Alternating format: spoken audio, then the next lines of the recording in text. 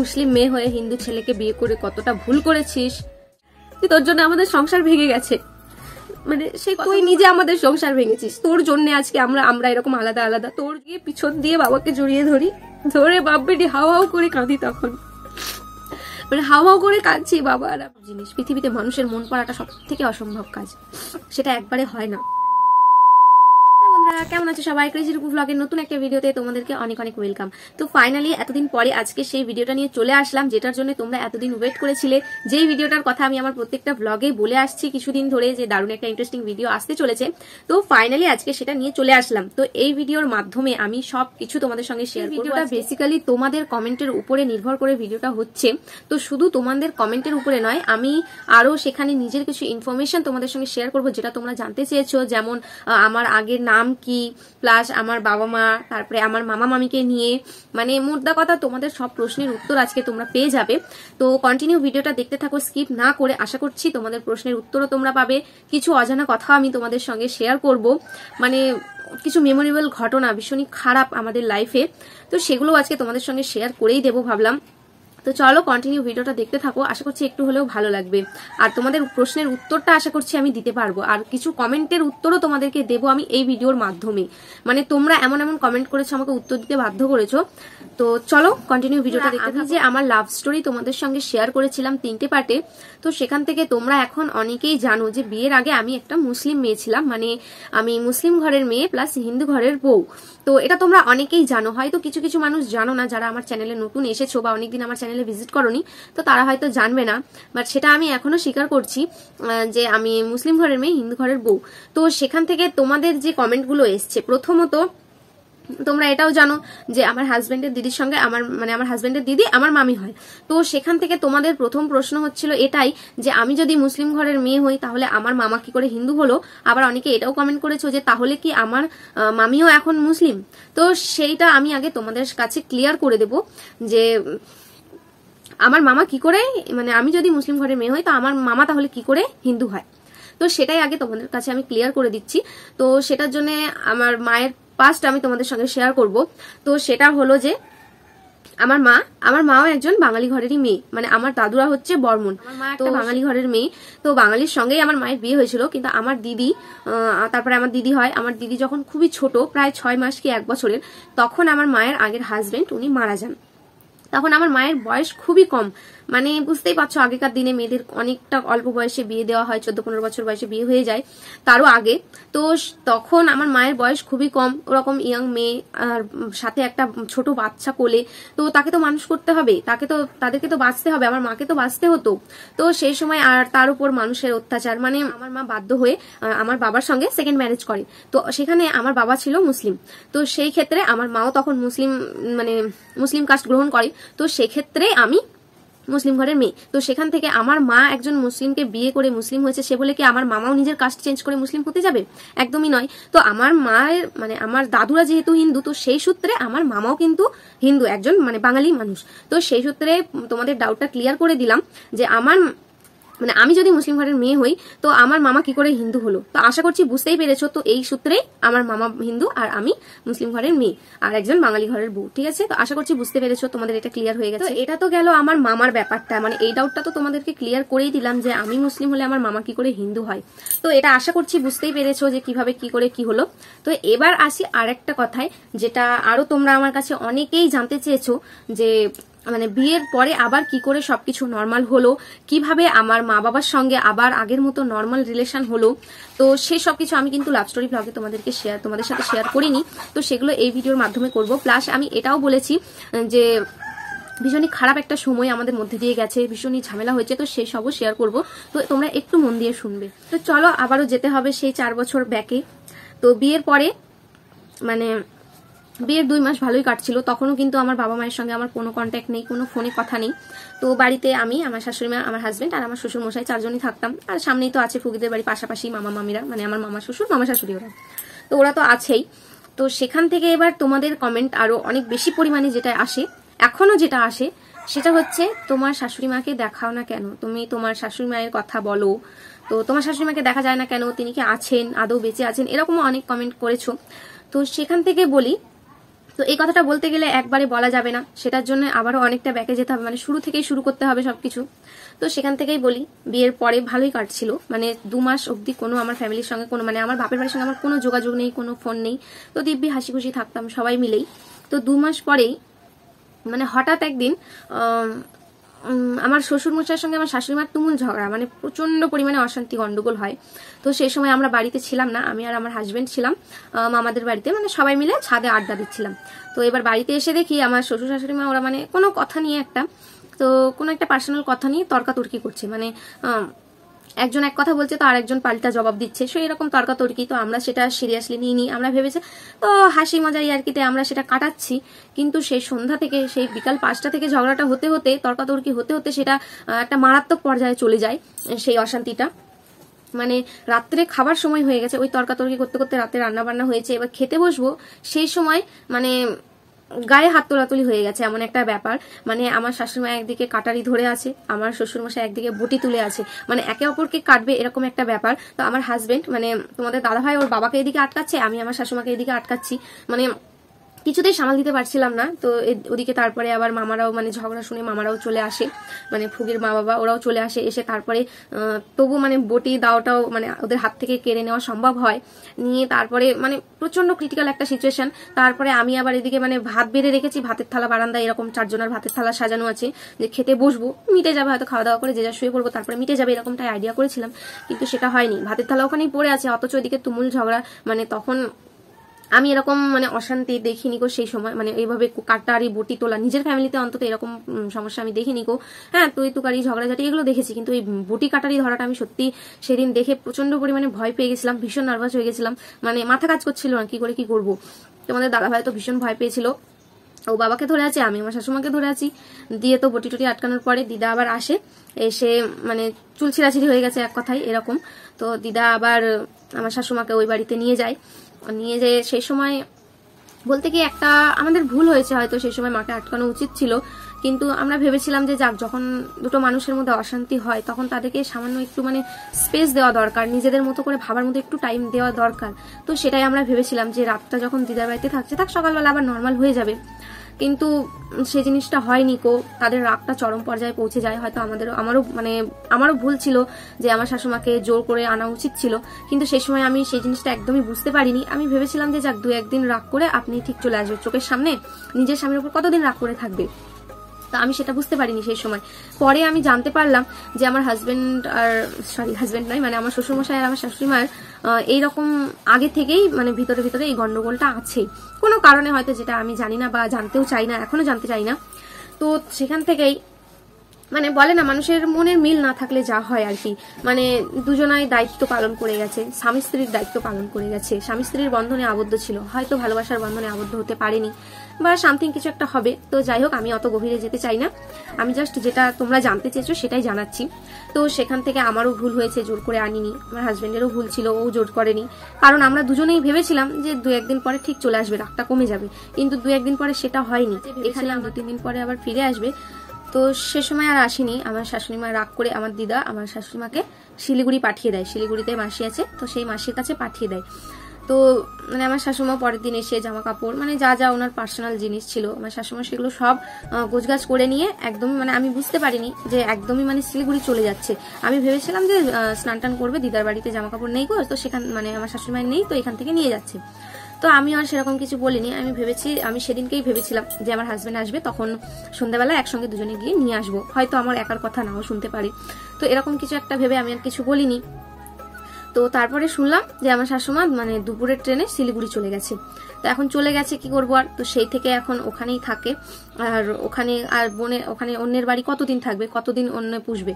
মানে যতই হোক, অতিথি হয়ে কদিন থাকবে আর? তো সেখান থেকে আমার শ্বশুর মশাই রাগটাও আরও বেড়ে যায় যে এখান থেকে ওই বাড়ি গেছিল, ঠিক আছে। একবারই বাড়ি ঘর মানে সবকিছু ছেড়ে ছুড়ে ওইভাবে চলে যাওয়াটা হয়তো আমার শাশুমায়েরও উচিত হয়নি। এখানে ফিরে আসা উচিত ছিল। তো সেই সূত্রে ওখানে এখনও উনি ওখানেই কাজ করেন, ওখানেই ঘর ভাড়া নিয়ে থাকে। আর এখানে মাঝে মাঝে আসে, মাসে মানে দু মাস, তিন মাস পর পর এখানে আসে, কোনো দরকার হলে আসে। তো সেই সূত্রে মানে উনি এখন শিলিগুড়িতে থাকে, আমাদের সঙ্গে থাকেন না। আর আমার শাশুড়ি মায়ের সঙ্গে এখনও আমার বন্ডিং ভালো আছে আগের মতোই। একটা মানে যতটা আমি আমার নিজের মায়ের সঙ্গে ফোনে কথা শেয়ার করি না বা গল্প করি না, তো সেই সব আমার শাশুড়ি মায়ের সঙ্গে হয়। উনি প্রত্যেক দিন ফোন করেন আমাকে, উনি না করলেও আমি করি। তো যাই হোক, আশা করছি বুঝতেই পেরেছ এবার যে আমার শাশুমা আমার সঙ্গে কেন থাকে না। তো এই ঘটনা, তো এই ঝগড়া গন্ডগোল নিয়েই জড়িত আর একটা মানে ভীষণই ভয়ঙ্কর, ভীষণই মানে আমাদের লাইফে মেমোরেবল ঘটনা যেটা। তো সেটা এবার বলি তোমাদেরকে যখন চলে যায় তখন আমি পুরো একা মানে একটা সংসারে আমি একা একটা মহিলা। আর আমার বিয়ে হয়েছে পনেরো বছর বয়সে। আমার সংসার সম্বন্ধে কোনো ধারণা নেই।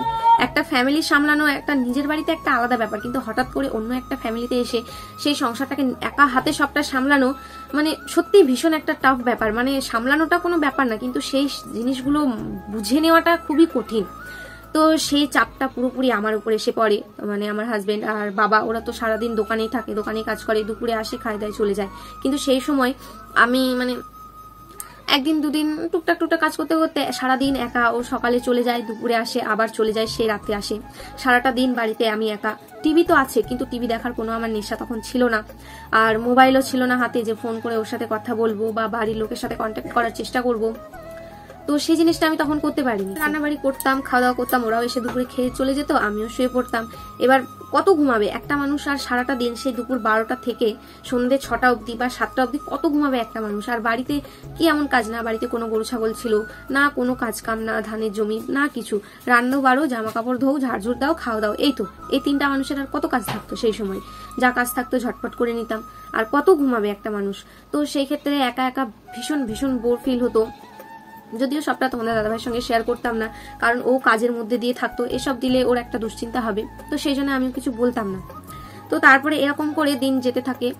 তারপরে কি হয়, একদিন দুদিন পর মানে আমার শাশুমা চলে যাওয়ার পরে প্রায় দিন এই জিনিসটা, একদিন দুদিন হলে হয়, প্রায় দিন, আমি নাম বলব না, একজন আছে।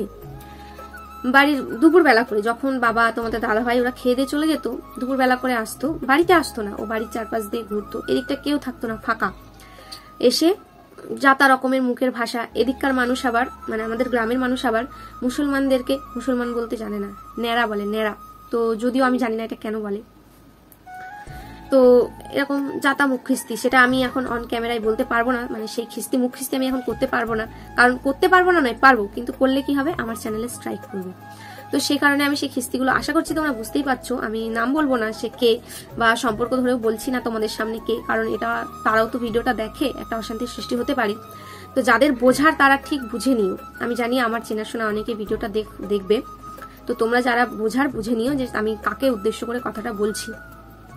তো সেই মানুষটা আসতো, বাড়িতে আসতো না, চারপাশ দিয়ে ঘুরে ন্যাড়া ন্যাড়ার বেটি, তো মানে যাতা মুখিস্তি করতো, আমাদের সংসারে ভাঙন ধরালো।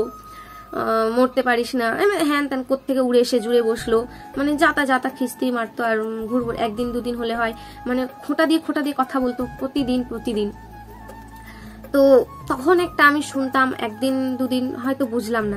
কিন্তু প্রতিদিন প্রতিদিন যখন একটা মানুষকে একই কথা বলবে, তাকে উদ্দেশ্য করে, সে কিন্তু ঠিকই বুঝতে পারবে যে কথাটা তাকেই বলছে। তো এভাবে বলতে বলতে আমি প্রচণ্ড পরিমাণে ডিপ্রেশনে চলে যাই। মানে আমার কিছু ভালো লাগে না, একে তো সারাদিন একা, তার উপর তোমাদেরকে বলেছি যে ওর সঙ্গে আমার দু মাসের রিলেশনে হঠাৎ বিয়ে। তো সেরকম অতটাও গভীর প্রেম ছিল না। হয়তো ছিল, কিন্তু আমি হয়তো ওর মনের ভিতরে ঢুকতে পারিনি বা মানুষটাকে ঠিক বুঝে উঠতে পারিনি সেই সময় যে কোন কথাটা ওর সাথে শেয়ার করব বা কোনটা করব না। তো সেই জিনিসটা আমি তখনও কিন্তু বুঝে উঠতে পারিনি। তো তারপরে কি হয়, একদিন মানে কোনো, আমার কাছে আমি বলেছিলাম তোমাদেরকে, আমার লাভ স্টোরি ব্লগ যারা দেখেছ তোমরা জানো। মানে আমি নিজেই বলেছিলাম যে আমি আমার বাড়ির ছোট মোবাইলগুলো নিয়ে চলে এসেছিলাম। তো তার মধ্যে সেগুলো ইউজ করতাম না, বাড়িতেই পড়েছিল, বন্ধ হয়ে। তো আমি যা, আমার আর মনে ছিল না যে সেখানে একটা সিম কার্ডও আছে। তো একদিন কি মনে হলো আর নিতে পারলাম না মানে এতটা পরিমাণে আমি ডিপ্রেশনে চলে গেছিলাম, আমি আর সেই জিনিসগুলো নিতে পারছিলাম না। তখন আমি ওই ফোনগুলো মানে মোবাইলগুলো কি মন হলো একদিন মোবাইলগুলো বার করলাম, করে দেখি ফোন করি। তো আমার, তখন আমার কাছে কোনো কন্ট্যাক্ট নাম্বার নেই, শুধু আমার দিদির ফোন নাম্বারটা আমার মুখস্থ ছিল। তো আমার তো তো নাম্বার চিনতে পারেনি। তারপরে আমি বললাম যে আমি বলছি মা কেমন আছে? হেন তেন। তো এরকম এরকম আমার মায়ের তখন প্রচণ্ড শরীর খারাপ আমার মা ভেঙে পড়েছে। মানে এক কথায় প্রায় বিছানায় বলতে পারো পাশের বাড়ির মামিরা এসে মাকে একটু দেখে খাবার দিয়ে যেত। এরকম একটা পরিস্থিতি তৈরি হয়ে গেছিল কারণ সেই সময় আমার বাবাও বাইরে আমার ভাইও বাইরে। মানে কেউ আসতে পারবে না এরকম একটা জায়গায়। মানে অবস্থা খুবই খারাপ। এদিকে আমি প্রচণ্ড ডিপ্রেশনে পড়ে গেছিলাম। তারপরে তখন আর একটা কথাই বারবার আমাকে শুনতে হতো যে আমি এসে ওদের সংসারে ভাঙন ধরিয়েছি। তো এই কথাগুলো আমার হাজবেন্ড বা আমার শ্বশুর মশাই কেউ বলতো না। ওরা কেউ বলতো না। একজন বাইরের মানুষ হয়ে বলতো। তো আমি জানতাম না তখন যে সে মানে আমি তখন বুঝতাম না যে সে আমাদের ফ্যামিলিতে অতটা ম্যাটার করে না। সেই মানুষটার সংসার আলাদা আছে। আমি তখন জানতাম যে সবাই এক জায়গায়, সবাই এক। আমি বলছি না সে কে, তোমরা বুঝে নিও। যারা আমাকে চেনো, যারা জানো, তোমরা বুঝে নিও সে কে। তো এই কথাটা প্রতিদিন প্রতিদিন আমাকে শুনতে হতো যে আমাদের সংসারে ভাঙন ধরাতে ঢুকেছে। তো তারপরে আর নিতে পারছিলাম না জিনিসগুলো। তখন আমার দিদির সঙ্গে কন্ট্যাক্ট করি। এদিকে আমার মায়ের শরীরের পরিস্থিতি শুনে আমি ডিসাইড করলাম যে না, এদের, এখানে আমি আর থাকব না। তো এই জিনিসগুলো হঠাৎ একদিনের মধ্যে আমার সঙ্গে হয়ে যায়। তো তখন একদিন আমি কি করি, ওরা খাওয়া দাওয়া করতে আসে উনি সকালবেলায় এসেছিল একদিন। সকালবেলায় পাঁচই ডিসেম্বর পাঁচই সেপ্টেম্বর, শিক্ষক দিবসের দিন ছিল সেটা। দু হাজার আঠেরো সালের শিক্ষক দিবসের দিন ছিল পাঁচই সেপ্টেম্বর। তো তোমাদের দাদাভাই সকালবেলা এসেছিল, মাছ দিয়ে গেছিল, যেটা প্রতিদিন এখনও আসেও বাড়িতে মাছ দিয়ে চলে যায় নটার মধ্যে। তো সেই মতো আমি এই ভাত, তরকারি রান্না বাড়ি করি যা যা কাজ থাকে সংসারে ওদের জামা কাপড় ভালো করে, গোছগাছ করে সবকিছু ঢাকাঢুকি দিয়ে কি মন হলো, আমার সিঁদুরের কোটো, ও আমাকে দুটো শাড়ি এনে দিয়েছিল। বিয়ের পর পর মানে সামনেই আবার দুর্গাপুজো আসতে চলেছিল। দুটো শাড়ি আরও অনেক কিছু যেগুলো নিয়ে আসার। তো আমার, আমি যে ব্যাগটা নিয়ে এসেছিলাম, আমার স্কুলের ব্যাগটা সেই ব্যাগটার মধ্যে আমি ব্যাগটা প্যাক করে নিই। দুটো শাড়ি প্যাক করে নিই, আমার সিঁদুরের কৌটো নিই। আর রাস্তায় খরচ করার জন্য কিছু টাকা আমি হাতে নিই। আর ওর একটা ফটো নিই, যে ফটোটাও আমাকে দিয়েছিল। তো সেই ফটোটা আমি নিয়ে, কি মন হলো জানি না, বাড়ির পিছন দিয়ে আমি বার হয়ে গেলাম। ঘরেও তালা মারিনি। এই ঘরটায় খালি শেকল তুলে দিয়ে আমি জানি যে খেতে আসবে। তালা মারলে আবার চাবি কোথায় রাখব? তো বাড়ির পেছন দিয়ে, এদিক দিয়ে মাঠ দিয়ে আমাদের ওদিকে খ্রিস্টান পাড়া আছে, সেখান থেকে আমি বার হয়ে চলে যাই। ওখানে গিয়ে টেকার ধরি, টেকার তো নয় অটো ধরি, ধরে সোজা চলে যাই বালুরঘাট বাস স্ট্যান্ডে বড় বাস স্ট্যান্ডে কারণ আমি জানি স্টেশনে যদি যেতাম, এই সময় কোনো ট্রেন থাকে না, এদিকে ট্রেনের কোনো খবর আমি জানি না, কিন্তু বাস হয়তো সবসময় অ্যাভেলেবেল পাবো। তো এই জিনিসটা ভেবে কিন্তু সেই সময় আমার মাথায় আমি একটা চিঠিও লিখে যাই, যে তাকে বলে দিও যে তার জন্য আমি মানে আমার জন্য তার সংসার ভেঙে গেছে যখন, তো তোমার মাকে ফিরিয়ে নিয়ে এসো, ভালো থেকো। যদি পারো আবার বিয়ে করে, এরকম অনেক বোকা বোকা কথা আমি লিখে দিয়ে গেছিলাম। তো সেই সময় একটা বারের জন্য আমি ভাবিনি যে আমি চলে গেলেও কতটা কষ্ট হবে, বা ও কি ভাববে। আমি শুধু একটাই কথা ভেবেছি যে আমার জন্য ওদের সংসারটা ভেঙে গেছে। আমি একটা মানুষের জন্য ওদের গোটা সংসার তো ভাঙতে পারে না। তো সেই কারণে আমি এখান থেকে বার হয়ে যাই। গিয়ে তারপরে বাস স্ট্যান্ডে বাস, ওখান থেকে ডাইরেক্ট মালদার বাস ধরি। আমি যেতে পারছি না, আমার মন যেতে চাইছি না, কিন্তু তাও যেন আমার মানে আমার আমার ব্রেন আমাকে বলছে যে, তুই চ। আমার মন বলছে যে, আস না। মানে আমি কোনটা শুনব বুঝে উঠতে পারিনি। তো সেখান থেকে বাস ধরে চলে যাই মালদা। গোটা বাস কাঁদতে কাঁদতে গেছি। মানে একটা কথা খালি আমার, ওর মুখটা মনে পড়ছে। আমি যখন খালি একটাই কথা ভাবছি, আর বাবাও আমাকে এত ভালোবাসতো, নিজের মেয়ের থেকেও বেশি, আমাকে আজ অব্দি আমাকে নাম ধরে ডাকে না। এখনও আমাকে মা করে ডাকে। তো সেই মানুষটাকে আমি কষ্ট দিয়ে বার হয়ে চলে গেছিলাম। তো সেই সেই মতো গোটা মালদা পৌঁছাই আমি। আর ওদিক থেকে আমার মায়ের আমার দিদি, আমার মায়ের ফোন নাম্বারটাও দিয়ে দিয়েছিল। তো মায়ের সঙ্গে কথা বলি। ওদিকে মায়ের শরীর এতটা পরিমাণে খারাপ ছিল মানে আমি এদিককার কথা যখন আমি ভাবছি, ফট করে আমার মায়ের আওয়াজটা, ফোনে যখন শুনছি, তখন এদিককারটা আর মনে পড়ছে না। মানে আমি এদিকটা তাও সামলে নেবে। এখানে অনেক মানুষ আছে, আমার মায়ের কাছে কেউ নেই। তো এই জিনিসটা হট করে মাথায় আসছে। আবার হট করে একটা কথা বারবার মনে পড়ছে, যে তোর জন্য আমাদের সংসার ভেঙে গেছে। মানে সেই কথাগুলো বারবার করে খালি মাথার মধ্যে ঘুরপাক খাচ্ছে। তো আর বাস তো আমার জন্য আর থামছে না চলে যাচ্ছে। মালদা পৌঁছাই। মালদা গিয়ে কাউন্টারে গেলাম। মানে ওই এলাকার কোনো ট্রেন নেই ওই সময়। আমি গিয়ে মাল মানে ব্যান্ডেলের টিকিট খোঁজ করলাম, বর্ধমানের টিকিট খোঁজ করলাম প্লাস হাওড়ার টিকিট খোঁজ করলাম। কারণ ওই এলাকায় পৌঁছে গেলে আমি জানি আমার মা আমাকে ঠিক নিয়ে চলে যেত। আমার মা এটাও বলেছিল, তুই এদিকে আয়, আমি এদিক থেকে নিয়ে যাব। তো সেখানে গেছি, কোনো টিকিট নেই। তারপরে দেখলাম, তারপরে মাকে তো স্টেশনে সেই সময় একটাই ট্রেন দাঁড়িয়েছিল নবদ্বীপ ধাম এক্সপ্রেস তো মাকে ফোন করলাম তো মা বলল, তুই এদিকে নবদ্বীপ আয়, আমি এখান থেকে বাসে করে গিয়ে নিয়ে চলে আসব। আমাদের ওখান থেকে বাসে করে যেতে বেশি টাইম লাগে না নবদ্বীপ যেতে। তো মা বলল, তুই ওদিক থেকে আয়, আমি এখান থেকে বেরোচ্ছি তাহলে। তো আমি আর কিছু বলিনি ফোন কেটে দিয়ে রীতিমতো, আমি টিকিটও কাটিনি। আমি গিয়ে ট্রেনে উঠে বসে পড়ি। একটা ফাঁকা সিট দেখে আমি একধারে, জানলার একধারে বসে পড়ি। রীতিমতো হাওয়া হাওয়া করে একাই কাঁদছি, চোখ দিয়ে অনবরত জল বেরোতেই আছে। আর এদিকে কি হচ্ছে আমি কিচ্ছু জানি না। তারপরে আর সামনে আরেক বয়স্ক মহিলা, কি হয়েছে, ফ্যামিলির কিছু হয়েছে, হ্যান ত্যান জিজ্ঞেস করেই আছে। মানে একটা মহিলা আমার মুখের দিকে তাকিয়ে থাকতে থাকতে জিজ্ঞেস করেই ফেলল যে, তোমার কি হয়েছে? কোথায় যাবে? আমি আর কোনো উত্তর দিই না। আমি হাওয়া করে একা একাই কেঁদেই চলেছি। আর জানলার বাইরে দিয়ে তাকাচ্ছি, কিছু যেন একটা পিছু টান বলে না মানুষের। এক এক করে যেন সব স্মৃতি মনে পড়ছে। মানে তোমাদের দাদা ভাইয়ের সঙ্গে কাটানোর সময়, ওর সাথে গল্প, বাবার আদর, সবকিছু যেন একটা একটা করে মনে পড়তে লাগল। তখন কি যে হলো আমার ভিতরে, ওই যে বলে না, হয়তো আমি ওকে ছেড়ে চলে যাচ্ছিলাম। কিন্তু ও যে এখানে তো অলরেডি ততক্ষণে খবর হয়ে গেছে যে আমি নেই বাড়িতে। কিন্তু ও তো কষ্ট পাচ্ছে। ওর কষ্টটাই হয়তো আমাকে টেনে নিয়ে আসছে। আমি হয়তো ওর কষ্টটা বুঝতে পারিনি। কিন্তু ওর ওর কষ্টটা আমার আমার পিছু টান দিয়ে আমাকে পিছু টানছিল। তো সেই সময় সবকিছু একে একে যেন মনে পড়তে থাকে। হুট করে ব্যাগ তুলে নিয়ে ট্রেন থেকে নেমে পড়ি।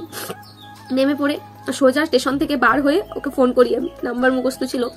ফোন করলাম ফোন করে সাথে সাথে ফোন ধরেই হ্যালো রূপু, আমি ওখানে আর কোনো কথা বলতে পারছি না। ও চুপ, আমিও চুপ। আমি এদিকে হাও হাও করে কেঁদে চলেছি ফোন ধরে। আমি মালদা থেকে হাও করে মানে ফোন ধরে কাঁদতেই চলেছি। ও কথা ও জিজ্ঞেস করতে আছে কোথায় আছো?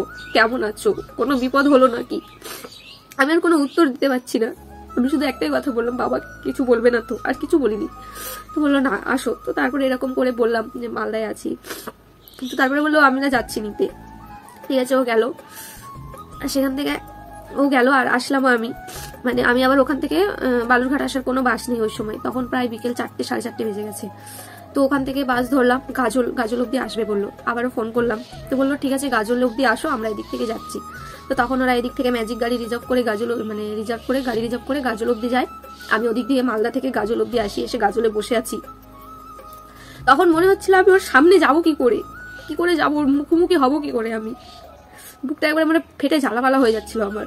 তো যাই হোক, তাও মনের মধ্যে সাহস করে খালি একটাই কথা ভেবেছিলাম, যে যাই হয়ে যাক, যা শাস্তি দেবে, যা কিছু করবে, মাথা পেতে নেব। কারণ ওকে কষ্ট আমি দিয়েছি, ও আমাকে কোনো কষ্ট দেয়নি, আমি ভুল করেছি। তো শাস্তিটাও আমার পাওয়া উচিত। তো এই একটাই কথা মাথায় রে বুকে এই একটাই সাহস নিয়ে আমি এসেছিলাম। তো ওখানে গিয়ে আমার একটাই কষ্ট হয়েছিল, যেই মানুষটার জন্য আমি বাড়ি ছেড়ে বার হয়ে গেছিলাম, যেই মানুষটার কথা শুনে আমি ডিপ্রেশনে ভুগেছিলাম, সেই মানুষটাকে সাথে করে নিয়ে গেছে। ওর কি দোষ? ও তো জানে না। ওই মানুষটাকে দেখে আমার আরও মানে বুকের ভেতরটা ঝালাপালা হয়ে যাচ্ছিল। সেই মানুষটাকে দেখে আমি খালি ওই সময় ভাবছিলাম যে আমার থেকে বয়স হলে, বয়সে বড় হলে কি হবে? সম্পর্কে বড় হলে কি হবে? ঠাটিয়ে দুটো চরমারি গাল। যাই হোক, ভদ্রতার খাতিরে আর কিছু বলিনি। চুপচাপ গাড়িতে উঠে ওদের সঙ্গে চলে আসি। এসে বাড়িতে এসে তো সেরকম লোকজনে ভরে গেছে। লোকজন বলতে ওদেরই যত গোষ্ঠী। যত আত্মীয়, সবাই চলে এসে বাড়ি ভরে গেছে পুরো। প্রশ্নের উপর প্রশ্ন। কোনো কথা বলিনি আমি, কাউকে কিচ্ছু বলিনি। আমি চুপচাপ আছি, খালি একটাই কথা বলেছিলাম, আমার মায়ের কথা মনে পড়ছিল। আমি খারাপ স্বপ্ন দেখেছি, মায়ের কাছে ছুটে চলে যাচ্ছিলাম। এরকম কিছু একটা বলে কাটিয়ে দিই, তো কেউ তো আর শুনবে না সেটা। বাবা অনেক রকম প্রশ্ন করে। মানে সামথিং কোনো আমার আগের কোনো রিলেশন আছে নাকি? এই ধরনের অনেক প্রশ্ন করে। আমি কাউকে কোনো উত্তর দিইনি, চুপচাপ ছিলাম। আমি আমার মাথায় খালি একটাই কথা ভাবছিল মানে একটাই কথা আমার মাথায় ঘুরছিল যে আমি যা বলার সব ওকে বলব, বুঝিয়ে বলব। তারপরে ও যা শাস্তি দেবে সবটা আমি মেনে নেব। তো খাওয়া দাওয়া করে, সারাদিন ওরা কিছু খাওয়া দাওয়া করেনি। তরকারি, রান্না যেমন যা রেখে গেছিলাম তেমনই করেছিল। তো তারপরে রাত্রে যখন ঘুমাতে আসি, সবটা বলিনি ওকে। মানে যার কথা শুনে, যার কথায় আমি ডিপ্রেশনে গেছি যে ওভাবে আমাকে কথা বলেছিল সংসারে ভাঙন ধরাতে এসেছিস, এরকম যা তা খিস্তি মারতো। তার কথা আমি কিছু বলিনি, কারণ ওই মানুষটাকে ও খুব ভালোবাসে, সম্মান করে। তো কষ্ট পেত বললে। সে কারণে আর বলিনি কো। খালি তখন তোমাদের দাদাভাই আমার একটাই কথা বলেছিল। খালি আমি বলেছিলাম, ভুল হয়ে গেছে, ক্ষমা করে দেওয়ার কোনোদিন হবে না। তো একটা কথাই বলে আমায় বুকে জড়িয়ে নিয়েছিল, গায়ে একটা হাত দেয়নি, কোনো আচর দেয়নি, কোনো বকাঝকা। তো সেখান থেকে ও আমাকে খালি একটাই কথা মানে আমি ওকে বলেছিলাম যে এরকম ভুল আর কোনোদিন হবে না। তো বিশ্বাস করো ও যে কি দিয়ে তৈরি আমি এখনও বুঝে উঠতে পারি না। ও মানুষ না অন্য কিছু, আমি সত্যি আমার মাঝে মাঝে কনফিউশন হয়ে যায় যে ওর ভেতরটা কি দিয়ে গড়া। আমি অত বড় একটা ভুল করলাম, অত বড় একটা দোষ, ওটা ভুল নয়, ওটা দোষ করলাম আমি। তো সেখান থেকে কোনো কথা বলল না, চুপচাপ বুকে জড়িয়ে নিয়ে একটাই কথা বলল, এরকম ভুল যেন আর কোনোদিন না হয়, এরকম আঘাত কোনোদিন দিও না। সত্যি কথা বলতে ওই কথাটা শুনে মনে হচ্ছিল যেন মাটিতে মিশে যাই আমি। আর বেঁচে থাকার ইচ্ছা করছিল না ওই সময়। তারপরে ভাবলাম, ওকে তো আমি অলরেডি এত কষ্ট দিয়েছি, তার উপরে আবার দেব? তো তখন আস্তে আস্তে ও যখন মানে সেই থেকে কি বলব তোমাদেরকে, ওর প্রতি যেন আমার টানটা আরও বেশি বেড়ে গেল। তখন মনে হলো যে হ্যাঁ আমি ওকে সত্যি করে তখন থেকে মনে হয় ভালোবাসছি। হয়তো তার আগে অ্যাট্রাকশনে আমি এসেছিলাম, বা কিছু আমি নিজেও সেটা বুঝিনি, বা জেদের বসে বিয়ে করেছিলাম। কিন্তু তখন থেকে মনে হলো যে, না, একটা মানে ও, আমি ওকে জানি না কতটা ভালোবাসতে পেরেছিলাম। ও সত্যি আমায় ভালোবাসতো, এখনও বাসে। তো সেটা মানে কি বলব, এরকম দিন যেন ঠাকুর কোনো দিন না নিয়ে আসে আমাদের জীবনে। আমি যতটা না কষ্ট পেয়েছি, তার থেকে বেশি কষ্ট আমি ওকে দিয়েছি। তো এখনও আমি ঈশ্বরের কাছে একটাই প্রার্থনা করি যে, এই জিনিসগুলোর থেকে অন্তত আমাকে সামলে রেখো। আমার পা যেন কোনোদিন পিছলে না যায়, কোনোদিন যেন ভুল পথে পা না দিই, বা আমার জন্য আমার স্বামী যেন কোনোদিন কষ্ট না পায়, কোনোদিন আঘাত না পায়। এই একটাই প্রার্থনা আমি এখনও করি। তো এটাই ছিল মানে কি বলব, এরকম মানে সব থেকে মারাত্মক ভয়ঙ্কর ঘটনা। আর এখনও মাঝে মাঝে যখন এই কথাটা ওঠে ইনডাইরেক্টলি যখন এই কথাটা মাঝখানে চলে আসে, তখন ও আমাকে একটাই কথা বলে যে, থাক, আমি তোমাকে আর কিছু মনে করাতে চাই না। ও ভাবে যে, ওটা আমার কষ্টটা মনে করাতে চায় না। ও নিজে একবারও বলে না যে, ও কতটা কষ্ট পেয়েছে। তো সেখান থেকে আমি একটাই কথা মানে নিজের মনে মনে প্রার্থনা করি যে, এই দিনটা যেন আমি কোনোদিন না ভুলি। সারা জীবন যেন এই দিনটা আমার মনে থাকে। কারণ এই দিনটা, ওই ঘটনাটা আমাকে আরেকটা ভুল করার থেকে সাবধান করবে। আরেকটা দোষ করার থেকে আমাকে সামলে নেবে। আমি নিজেকে সামলে নেব। তো এই জন্য আমি চাই ওই দিনটা যেন সারা জীবন আমার মনে থাকে, যাতে দ্বিতীয়বার সেটা রিপিট না হয়। আর তোমরা যেটা জিজ্ঞেস করলে না, তোমরা যেটা বলেছিলে যে সবকিছু নর্মাল কি করে হলো? তখনও কিছু নর্মাল হয়নি। তখন শুধু আমাদের, তখন আমাদের রিলেশনটা আরও বেশি করে নর্মাল হতে লাগল। মানে আমি যখন মানে আমি যেটা ভাবতাম যে কোন কথাটা শেয়ার করব, কোন কথাটা করব না, বা ওর মনের ভিতরটা কেমন মানে একটা বলে না, মানুষের মনের ভিতরে ঢুকে দেখা। তো সেই জিনিসটা আমি দেখেছি। মানে আস্তে আস্তে দেখতে পেয়েছি। একবারে কারও মন পড়া সম্ভব নয়। এটা একটা অসম্ভব জিনিস। পৃথিবীতে মানুষের মন পড়াটা সব থেকে অসম্ভব কাজ। সেটা একবারে হয় না। ধীরে ধীরে সেটা সম্ভব হয়ে ওঠে। তো সেই জিনিসটা আমার ক্ষেত্রে হয়েছে। জানি না কতটা কি ওকে বুঝি। সেটা আমার থেকে ভালো ও বুঝতে পারবে যে ওকে আমি কতটা বুঝতে পেরেছি। তো তখন থেকেই মানে কি বলব? আমাদের রিলেশনটা আরও নর্মাল হতে থাকে। মানে হঠাৎ করে বিয়ের পর একটা যেটা হয়, যে উপরই অ্যাট্রাকশন সেটা নয়। আমাদের তখন রিলেশনটা আস্তে আস্তে আরও গভীর হয়। তারপরে এদিকে দেখলাম, তারপরে এদিকে আমার শাশুড়িমায়ের কাছেও ফোন টোন হয়। উনিও এক জেদ নিয়ে বসে আছে, আর আসবে না। এদিকে আমার শ্বশুর মশাই এক জেদ, কোনোদিন আমার শাশুড়িমার মুখ দেখবে না। এখনও দেখে না। আসলে যদিও সামনাসামনি হয়, মাথা নিচু করে পাশ কাটিয়ে যে যার বেরিয়ে যায়। পাঁচ বছর হতে চলল। এখনও দুজন দুজনে একটা মুখ দিয়ে, একটা শব্দ একে অপরের সঙ্গে ফুটে বেরোয়নি, একে অপরের সঙ্গে। একটা কথাও বলেনি সেই অশান্তির পর থেকে। তো এটা চেষ্টা করেছি অনেক নর্মাল করার, অনেক কথাবার্তা বলেছি, কিন্তু এটা আর হওয়ার নেই।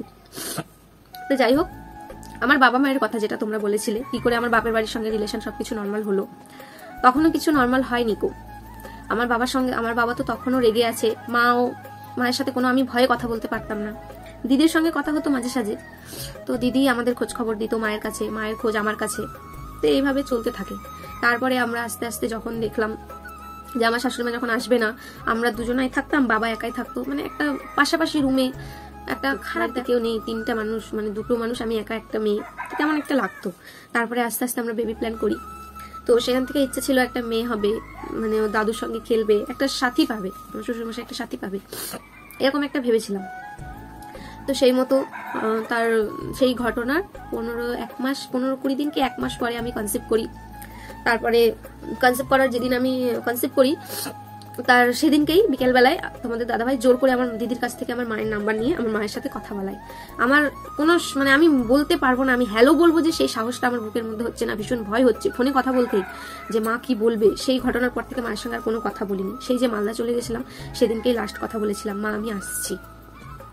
তো তারপরে আর কোনো কথা হয়নি। আমি সেই মোবাইলের সিম কার্ডটাই বার করে ফেলে দিয়েছিলাম গাড়িতে আসতে আসতেই। তো তারপরে কোনো কন্ট্যাক্ট হয়নি। এবার যেদিন কনসেপ্ট করি, সেদিনকেই তোমাদের দাদাভাই জোর করে ফোন মানে ফোনটা করেই ফেলেছে। এখন হ্যালো বলে মা, এরকম এরকম, তুমি দিতে হবে, হ্যান ত্যান। এরকম কথা বলে আস্তে আস্তে তখন ব্যাপারটা মানে শুধু মায়ের সঙ্গে, আমার ভাইয়ের সঙ্গেও কোনো কথা নেই, আমার বাবার সঙ্গেও কোনো কথা নেই, ততদিন।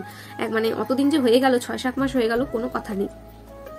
তারপরে মায়ের সঙ্গে টুকটাক কথা হতো, তারপরে আমার শাশুড়ি মা আসতো, যথারীতি টাইম মতো পিকলু হয়। হওয়ার পরে পিকলু হওয়ার সময় আমার মামি এসেছিল পিকলু হওয়ার এক সপ্তাহ আগে। তখন তো আমার অবস্থা খুবই খারাপ মানে আমি পিকলু হওয়ার আগে একবার হসপিটালে অ্যাডমিট হয়েছিলাম। তো সেটা পেট খারাপের একটা প্রবলেম হয়েছিল আর সেই সময় তো আর যে কোনো মেডিসিন ইউজ করা যাবে না। খুবই সাবধান খুবই কেয়ারফুলি থাকতে হতো। তো একা একা সবটা সামলানো সেই কারণে মামি এসেছিল। তো মামি এসে টুকটাক হেল্প করতো মামি ভালো হেল্প করতো আমিও মামিকে টুকটাক হেল্প করতাম। মানে তারপরে পিকলু যথারীতি টাইম মতো হয়। হওয়ার পরেও আমার ফ্যামিলির সঙ্গে আমার কোনো তখনও দেখা হয়নি। এক বছর হয়ে গেল তখনও দেখা হয়নি খুব। আমার বাবা, ভাই কারোর সঙ্গে কথা নেই। তারপরে মন টন খারাপ হয় হয় আস্তে আস্তে। প্ল্যান করি যে যাব, বাপের বাড়ি যাব। বিয়ের প্রায় এক দেড় বছর। পিকলুর বয়স তখন তিন মাস। আড়াই মাস কি তিন মাস পিকলুর বয়স। তো তখন ঠিক করলাম যে যাব। এদিকে তো রীতিমতো ভয় পাচ্ছে এদিকে দিদারা, তারপরে আমার শাশুমা ওরা খুবই ভয় পাচ্ছে যে ওখানে যাবি। মানে ওরা ভয় পাচ্ছে যে আমার মানে আমার মা লোক দিয়ে আমার হাজবেন্ডকে মার খাওয়াবে নাকি? এই জিনিসটা মানে এতটাই মানে নিচু মানসিকতা নিয়েছিল, এতটাই নিচু ধারণা করেছিল যে আমার মা তার জামাইকে লোক দিয়ে মার খাওয়াবে, গ্রামের লোক দিয়ে মার খাওয়াবে। এরকম একটা ভাবতো। ডাইরেক্টলি আমাকে বলতো না, কিন্তু যখন ওর সঙ্গে ফোনে কথা বলতো, ও তো স্পিকার দিয়ে আমার সামনে কথা বলতো। তো আমি তো সবই শুনতাম। কিন্তু কিছু বলতাম না। ওরা ইনডাইরেক্টলি কথাগুলো বলতো যে, যাবি, সাবধানে যাবি কি যাইবুকে সাথে নিয়ে যা। মানে আমার মামা তো ওখানে যায়, তো তাই বলতো। আমার মানে মামাকে সাথে নিয়ে যাওয়ার কথা বলতো। যে, লোকজন যদি ধরে মারে, কিছু হয় যদি। মানে যেতে মানে আমাকে যেতে দেবে না এক কথা এরকম একটা ব্যাপার। মানে আর এখানে কি জানো? আমার শ্বশুরবাড়ি মানে আমার শ্বশুরবাড়ি তো নয় আশেপাশের আছে আমাদের রিলেটিভগুলো। কিছু হলে সাথে সাথে ফোনাফোনি। মানে একটা প্রেস মানে কি বলব, একটা প্রেস কোম্পানিও অত অত তাড়াতাড়ি সংবাদ পৌঁছাতে পারে না, যত তাড়াতাড়ি এখানে ফোনাফোনি হয়ে যায়। একটা ছোট্ট কিছু হলে সেখানে গোটা ইয়ে ছড়িয়ে যায়, গোটা আত্মীয়র মধ্যে সেটা ছড়িয়ে যায়। মানে এতটাই এদের নেটওয়ার্ক কি বলব মানে শক্ত নেটওয়ার্ক সেখান থেকে অতদিন পরে বাপের বাড়ি গেলাম, মনসা পুজো পার করে পরের দিনই ভোরের ট্রেনে চলে যাই আমরা। সেখানে গিয়ে এবার এবার তোমাদের বলি যে তখন আমার বাবা চলে এসেছে বাইরে থেকে, বাড়িতেই ছিল। আমার বাবার সঙ্গে তো কোনো কথা নেই, বাচ্চা নেই। তো এবার গিয়ে আমার মায়ের সাথে কথা হতো ফোনে। আমার মা তো খুব খুশি, নাতি নিয়ে আসছে। আমার টেনশন হচ্ছে আমি বাবার সামনে গিয়ে দাঁড়াবো কি করে? মানে আমি যখন পালিয়ে চলে এসেছিলাম, তখন এগুলো আমি সত্যি কিচ্ছু ভাবিনি। কোনো কথা আমার মাথাতেও আসেনি। আমি ট্রেনে যাচ্ছি, যতটা স্টেশন পের হচ্ছে, যতটা কাছাকাছি পৌঁছাচ্ছি, আমার মাথায় খালি একটাই কথা চিন্তা আসছে মায়ের সাথে তো সম্পর্ক নর্মাল হয়ে গেছে। মানে যতই হোক, মা তো সন্তানরা যতই ভুল করুক, মা ঠিক সেটাকে মানিয়ে নেয়। কিন্তু ভয় হচ্ছিল বাবাকে নিয়ে। আর আমার বাবার সঙ্গে আমার বাবাকে আমি বরাবরই বেশ রাগী মানুষ হিসেবে দেখেছি, একটু গম্ভীরভাবে দেখে এসেছি। কোনোদিন মানে মানে থাকে না ফ্রেন্ডলি হাহাহি, বাবার সঙ্গে হাসি ঠাট্টা, সেই জিনিসগুলো আমাদের হয়নি। কারণ বাবার সঙ্গে টাইম স্পেন্ড করার সুযোগটাই আমরা পাইনি। বাবা বেশিরভাগ সময় থাকতো বাইরে। তো বেশ গম্ভীর হয়েই দেখেছি। তো আমার যত কাছে যাচ্ছি, তত আমার মনে ভয় হচ্ছে যে বাবার সামনে কি করে দাঁড়াবো, কি করে যাব, কি করে ঘরে ঢুকবো। তো তারপরে কি হলো জানি না, বাড়ি গিয়েই আমার মা তো আগেই পিকলুকে কোলে নিয়ে নেয়। আমার বাবা তো রাগ করে বাড়ির পিছন দিকে, বাড়ির পিছন দিকে গিয়ে ঘুরিয়ে বসে আছে একদিকে। আমি গিয়ে আগে মাকে বললাম, মা, আব্বা কই? যে পিছনে। মা ইশারা করে দিল, পিছনে। আমি কোনো কথা বলিনি, মুখের সামনেও দাঁড়াইনি কো। কি করব বুঝতে পারছি না। ছুটতে গিয়ে পিছন দিয়ে বাবাকে জড়িয়ে ধরি। ধরে বাপ বেটি হাও হাও করে কাঁদি তখন। মানে হাও হাও করে কাঁদছি বাবা আর আমি মিলে। আমার বাবাকে পিছন দিয়ে যাই, ধরি আমি, ধরে কাঁদছি। তোমাদের দাদা ভাই এদিকে আছে দাঁড়িয়ে, ভাইয়ের সাথে গল্প করছে, কি দেখছে সবটা? আমার তখন কিচ্ছু খেয়াল নেই যে ও প্রথমবার আমাদের বাড়ি গেছে, ওকে ভালো করে কি করব? আমার ওর দিকে তখন খেয়াল নেই। আমরা এদিকে বাপ বেটি হাও হাও করে কাঁদছি। আমার মা তখন ছুটে গিয়ে তাড়াতাড়ি করে ওই সুযোগ বুঝে পিকলুকে আমার বাবার কোলে দিয়ে দেয়। পিছন দিয়ে আমি ধরে আছি, সামনে নাতি কোলে। না আমার বাবা রীতিমতো কি বলবে, রাগ দেখাবে, না ভায়োলেন্স হবে কিছু বুঝে উঠতে পারছে না। মানে সিনটা যা হয়েছিল না কি বলব তোমাদের। তো তারপরে আবার আস্তে আস্তে জোর করে মানে ঘরে ঢুকতে চাইছে না, এরকম যতদিন আছে ঢুকবো না ঘরে। থাক, ওদিকে তোরাই আনন্দ কর, আমাকে টানিস না, এরকম রাগ করে বলছে আমার বাবা। তো জোর করে টেনে ঘরে নিয়ে যায়। ঘরে নিয়ে গিয়ে সেই বাবাকে জড়িয়ে ধরে আরও কান্না। আমিও হাওয়া হাওয়া করে কাঁদছি, বাবাও কাঁদছে। কি দোষ করেছিলাম আমরা, এরকম শাস্তি দিলি। না বলে চলে গেলি, কোন জিনিসটা পাসনি? বললে কি দিতাম না? এরকম অনেক কথা বলছে। তো আমি কিছু বলিনি খালি একটা আমি ভুল হয়ে গেছে, ক্ষমা করে দাও। তারপরে পিকলুর মুখ দেখে কেনা ভুলবে বলো? তখন এতটা কিউট ছিল না, তো ওকে দেখে আরও অনেকটা গলে গেছে। মাও এদিকে বলছে, ও কি খারাপ আছে? বরঞ্চ আমরাই হয়তো দেখে দিলে ওকে অত ভালো রাখতে পারতো না, বা ভালো জায়গায় দিতে পারতাম না, অতটা কেয়ার করতো না। তো এরকম একটা ব্যাপার। তো সেখান থেকেই মানে কি বলব বাবার সঙ্গে? সেখান থেকে সম্পর্কটা নর্মাল হয়। আস্তে আস্তে আবার আগের মতো অতদিন পর বাপের বাড়ি গেছি। মানে দেড় বছর পর, প্রায় দেড় বছর পর গেছি। কি যে আনন্দ হচ্ছিল তোমাদেরকে কি বলব? তো তো সেইখান থেকেই মানে বাবার সাথে, মায়ের সাথে, ভাইয়ের সাথে সবার সঙ্গে সম্পর্ক আবার আগের মতো হয়ে যায়। হাসি খুশি সবাই আস্তে আস্তে ওখানে কটা দিন কাটালাম। তারপরে সেখান থেকে আবার সেখানে তিন চার দিন থেকে আবার শ্রীরামপুরে গেলাম মামার বাড়িতে। কারণ বেশ ভালো দিন কাটাই। তো এখান থেকেই আমাদের সবার সাথে মানে রিলেশনটা নর্মাল হয়ে ওঠে। শুধু একটা মানুষের প্রতি আমার রাগ থেকে গেছিল। যার কথা শুনে আমি অত বড় ভুলটা করেছিলাম।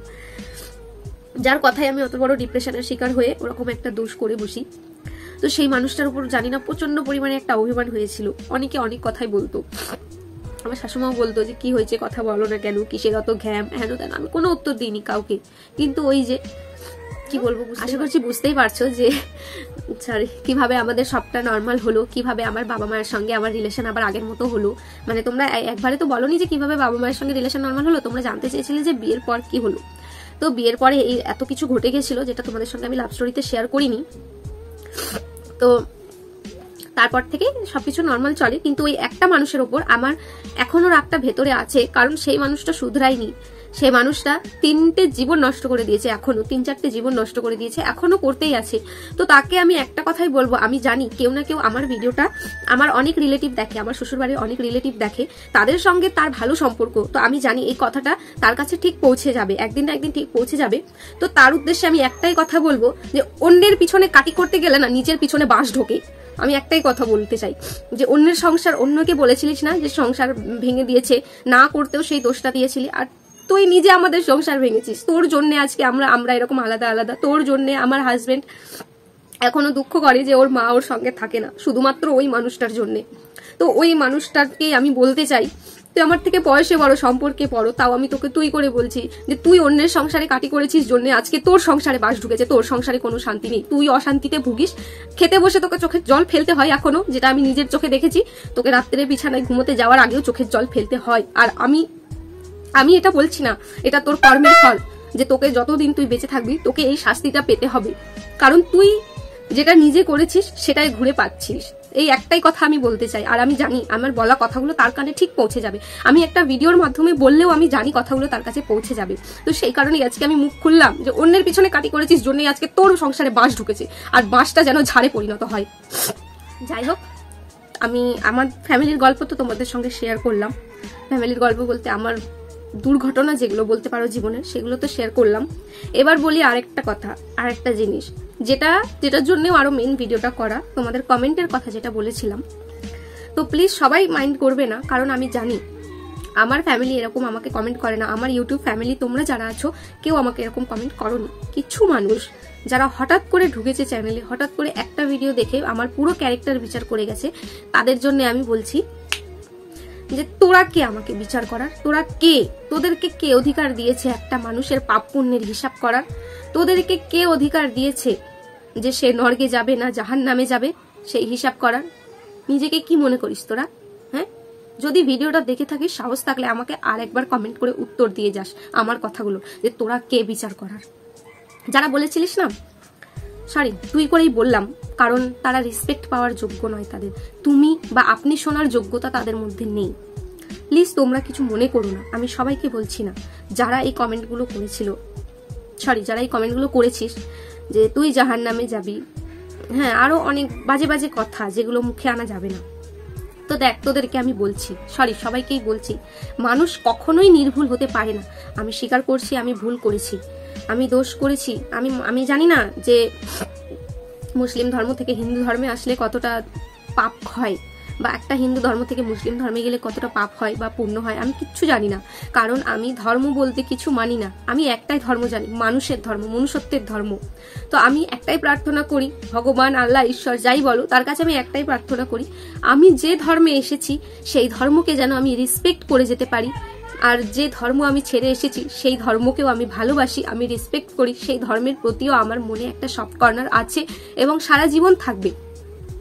তো সেখানে, সেখান থেকেই বলি যে আমি যদি ভুল না করতাম, তাহলে হয়তো এই মানুষটাকে আমি পেতাম না। আমি যদি ভুল না করতাম, তাহলে আমার জীবনটাকে হয়তো আমি এতটা আনন্দের সঙ্গে বাঁচতে পারতাম না।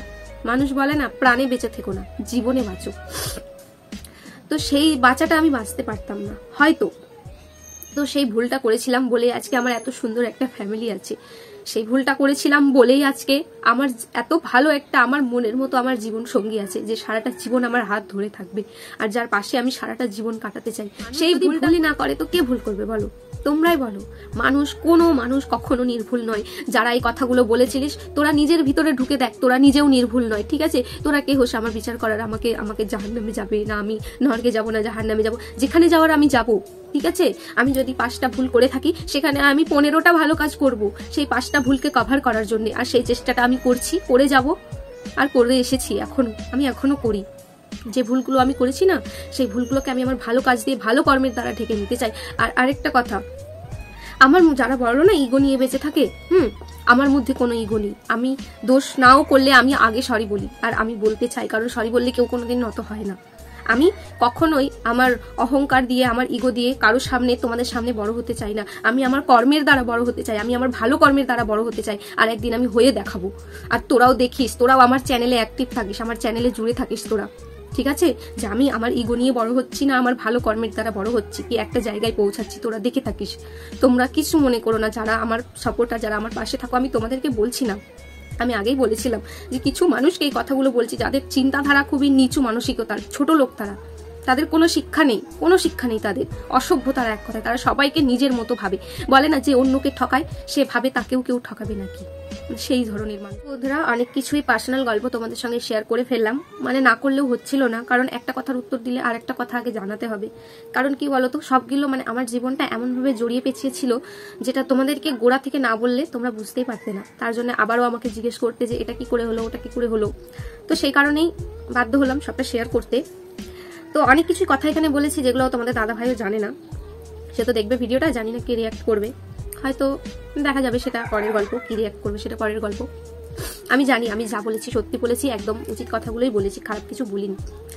তো যাই হোক, আশা করছি তোমরা তোমাদের প্রশ্নের উত্তর পেয়ে গেছো। আর যারা এরকম নেগেটিভ কমেন্টগুলো করেছিলে, তারাও তোমাদের মানে উত্তরটা পেয়ে গেছো।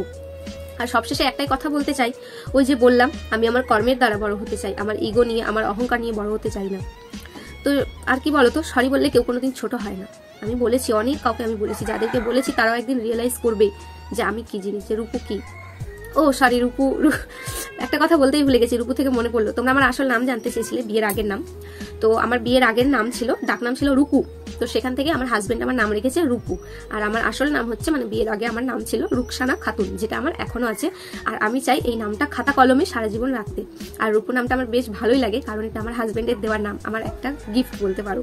তো ওই নামে ডাকলে আমার ভীষণই ভালো লাগে। তো বুঝতেই পারছ, আশা করছি বুঝতেই পারলে, সবটা ক্লিয়ার হয়ে গেছে তোমাদের। তো সবশেষে একটা কথা বলব, তোমরা আমার পাশে থেকো। আর তোমরা কিছু মনে করো না, আমি সবাইকে কথাগুলো বলিনি। এই যে লাস্টে কয়েকটা কথা বললাম, বাজে কথাই বলেছি অনেক। তো ভুলভাল যদি কিছু বলে থাকি, তোমাদের মানে যারা আমার পাশে থাকো, যারা আমাকে সাপোর্ট করো, তোমাদের যদি কোনো মাইন্ডে লেগে থাকে, তাহলে হাত জোর করে ক্ষমা চাইছি, আমি তোমাদেরকে কথাগুলো বলতে চাইনি। কিছু মানুষ যারা আমাকে এরকম, তোমরা যারা আমার লাভ স্টোরির ব্লগগুলো দেখো নিকো ফার্স্ট টাইম যারা এই ভিডিওটা দেখছ, তারা আমার লাভ স্টোরি ব্লগটা দেখো, তিনটে পার্ট দেখো, গিয়ে সেখানকার কমেন্টগুলো দেখে এসো। এরকম ধরনের কমেন্ট করা আছে। আশা করছি তোমরা বুঝতেই পারবে যে কেন আমি এই কথাগুলো বলেছি। আর হ্যাঁ আর একটা কথা আরও কিছু কেউ কেউ বলেছে যে নিজে গুণা করেছে, নিজে পাপ করেছে অন্য কেউ পাপ করতে বলছে। তো তাদেরকে বলছি, তোমরা আগে ভিডিওটা দেখো পুরোটা। আমি ভিডিওটায় কি বলেছি, তোমরা সবটা শোনো। তোমরা স্কিপ করে ভিডিওটা দেখেছ, আর মাঝখানে কোনো একটা কথা শুনেছো, শুনে পুরো ভিডিওটার বিচার করেছ, করে এসে আমাকে ফটাফট কমেন্ট বক্সে কমেন্ট টুকে চলে গেছো। তো তোমাদেরকে আমি হাত জোর করে বলছি, তোমরা গিয়ে ভিডিওগুলো আরেকবার দেখে এসো, আর স্কিপ না করে পুরোটা শুনে এসো। তাহলেই বুঝতে পারবে যে আমি কোন জায়গায় কোন কথাটা বলেছি, আর ওই কথাটার মানেটা কি। বা কেন বলেছি সেটা দেখে তারপরে কমেন্টটা করো আরেকবার আমাকে যে তোমাদের কমেন্টটা করা উচিত হয়েছিল না হয়নি। শুধু আমার ক্ষেত্রে নয়, আমি এটাও জানি যে তোমরা শুধু আমাকে নয়, তোমাদের এটা অভ্যাস বাজে কমেন্ট করা। তো তোমরা সেটা আমার ভিডিওটা নয়, তোমরা প্রত্যেকের ভিডিওতে গিয়ে তাই করো। পুরোটা দেখো না, শোনো না মানে দেখলাম না, শুনলাম না, হুট করে নিজের মতো একটা কিছু বানিয়ে বলে চলে আসলাম, হয়ে গেল। তোমরা এটা হয়তো বোঝো না যে ওই একটা কমেন্ট আমরা ছোট মোটো আমরা ইউটিউবারদের বা যে কোনো ভিডিও করি বা যে কোনো মানুষের যে কোনো কাজ মানে যে কোনো ধরনের কর্মের মানুষেরকে, মানুষদেরকে একটা কমেন্ট তাদেরকে কতটা ডিসঅ্যাপয়েন্ট করে বা কতটা ইমপ্রুভ করে সেই কাজটা করার জন্য। হ্যাঁ যারা বলেছিলে না যে একটা মুসলিম মেয়ে হয়ে হিন্দু ছেলেকে বিয়ে করে কতটা ভুল করেছিস, সেটা পরে বুঝবি। এখন কি বলব, বাজে কথাটা বলেই দিই যে এখন কামরসের তাড়নায় বুঝছিস না, পরে বুঝবি। তো তাদেরকে বলছি যে আমি একটা মুসলিম মেয়ে হয়ে হিন্দু ছেলেকে বিয়ে করে কোনো ভুল করিনি। সেটা আমি জানি না ধর্মের দিক থেকে কতটা, কিন্তু মনুষ্যত্বের দিক থেকে আমি কোনো ভুল করিনি। আর আমি জানি, আমার মতো অনেকেই এই কাজটা করে। আমি তাদেরকেও বলছি, তোমরাও কোনো ভুল করনি। এটা কোনো ভুল নয়। একটা ভালোবাসার মানুষের পাশে থাকা, তার সঙ্গে জীবনযাপন করা, এটা কোনো ভুল নয়। আমি তো কোনো পরকিয়া করছি না বা অন্যের কাছে যাচ্ছি না, আমি আমার স্বামীর সঙ্গে আছি। সে হিন্দু হোক বা মুসলিম হোক, তাতে আমার কোনো যায় আসে না। আমার হাজব্যান্ড যখন একটা হিন্দু হয়ে একটা মুসলিমের পাশে দাঁড়াতে পারে, তাকে জীবনসঙ্গী হিসেবে বাঁচতে পারে, তো আমি কেন পারব না? কেন আমি সেটা ভুল ভাববো? বা তোমাদেরকে কে অধিকার দিয়েছে ঠিক ভুলের বিচার করার? আমি জানি না এটা কেন বলে তারা। তো যাই হোক, তাদের উদ্দেশ্যেই বলছি, আমি কোনো ভুল করিনি। আমি মুসলিম হয়ে একটা হিন্দু ছেলেকে বিয়ে করে কোনো ভুল করিনি। আশা করছি বুঝতে পেরে তো বন্ধুরা, অনেক কিছুই বলে ফেললাম। যাই হোক, আজকে আর বেশি কিছু বলব না। যদি কোনো ভুলভাল কিছু বলে থাকি, আমাকে ক্ষমা করো। আর এভাবেই আমার পাশে থেকে একটু আমাকে সাপোর্ট করো। কারণ তোমাদের সাপোর্টের আমার ভীষণ, ভীষণই প্রয়োজন। আমার যতদিন আমার চ্যানেল থাকবে, ততদিন তোমাদের আমার প্রয়োজন পড়তে থাকবে। আমি যতদিন বেঁচে থাকব, ততদিন আমার চ্যানেলটাকে বাঁচিয়ে রাখার চেষ্টা করব। তো যাই হোক, চলো, আজকের মতো আর বেশি কিছু বলছি না। আশা করছি তোমাদের সব কথার উত্তর আমি দিয়ে দিয়েছি। আর তোমাদের সব ডাউটও ক্লিয়ার করে দিয়েছি। তো চলো, অনেক ইমোশনাল হয়ে পড়েছি নিজে নিজেই। তো যাই হোক চলো, সবাইকে টাটা। ভালো থাকবে সবাই, সুস্থ থাকবে। আর আমার চ্যানেলে জুড়ে থাকবে আমার চ্যানেলের সঙ্গে। আর চ্যানেল কেউ নতুন হয়ে থাকলে চ্যানেলটা প্লিজ একটু সাবস্ক্রাইব করে যাবে। আর হ্যাঁ ভিডিওটা একটা লাইক কমেন্ট করে যাবে কিন্তু। আর যারা লাভ স্টোরি ব্লগগুলো দেখোনি, তাদের জন্য ডেসক্রিপশনে আমার তিনটে পার্টেরই লিঙ্ক আমি দিয়ে দেবো। তো সেখান থেকে দেখে নিও। যারা দেখোনি, যারা দেখেছ, তাদেরকে অনেক অনেক ধন্যবাদ। তো চলো, আজকের মতো বিদায় নিচ্ছি। টাটা।